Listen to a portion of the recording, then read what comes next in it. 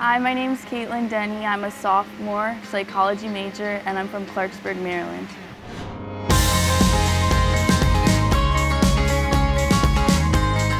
Clarksburg is a really small town. Um, it's surrounded by a lot of different type of suburb areas and there's always something fun to do, whether it's go shopping, go out to eat, or hike.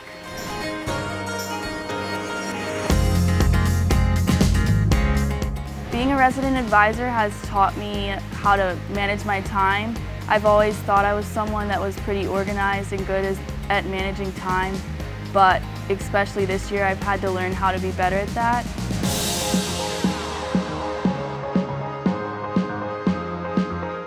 So it sounds kind of ironic, but finishing freshman year, um, I struggled a lot adjusting and finishing freshman year was kind of like evidence to myself that I could be happy here and that this was the right place for me.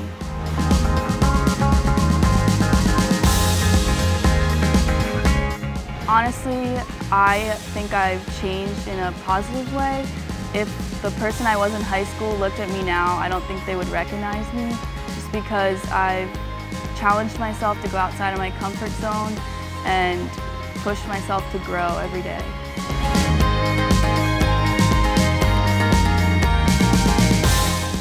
Have a lot of open discussions in that class and somehow obviously relations came, relationships came up since it's a marriage psychology class but I think just learning that every individual is different and that what works for some relationships doesn't necessarily apply to yours.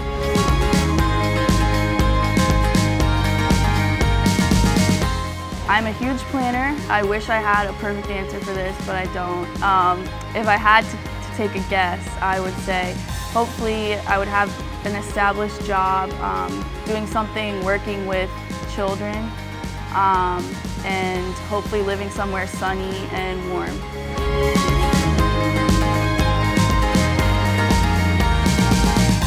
So, what is Forrest Gump's computer password?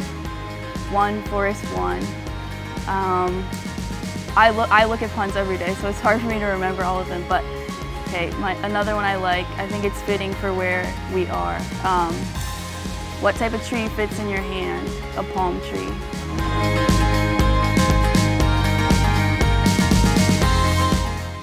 I would say I'm a pretty determined person. Um, I work very hard and I've always been self-disciplined and I even if it takes me hours to do something, I still persist and try and do as best as I can. I want to say hi to my family for supporting me and always listening to my long rants about whatever's going on in my life and to anyone who listens to my jokes and laughs and still supports me.